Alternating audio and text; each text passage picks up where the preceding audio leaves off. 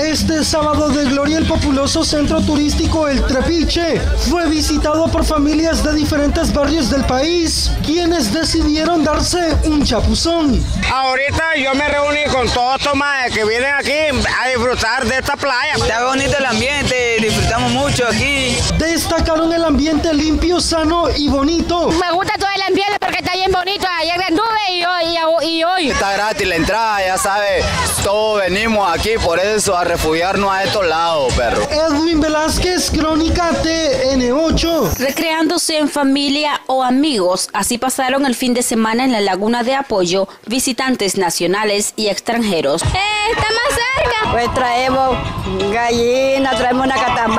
Tradición que siempre los habitantes del municipio de Catalina bajemos aquí a esta reserva a disfrutar de su agua. Los días de vacaciones son aprovechados por emprendedores. Muy bien, gracias a Dios, me ha ido, vendido ahí al suave. La verdad que aquí estamos disfrutando este verano, pero con las medidas que el, que el Ministerio de Salud siempre nos brinda.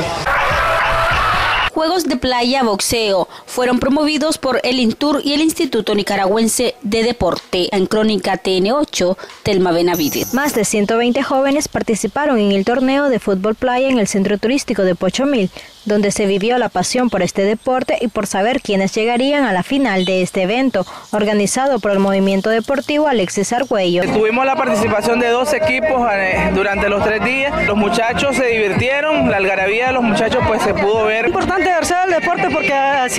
el eh. El equipo San José Kilómetro 54 es el nuevo campeón, subcampeón equipo Parque Los Monos y tercer lugar equipo La Nicarao.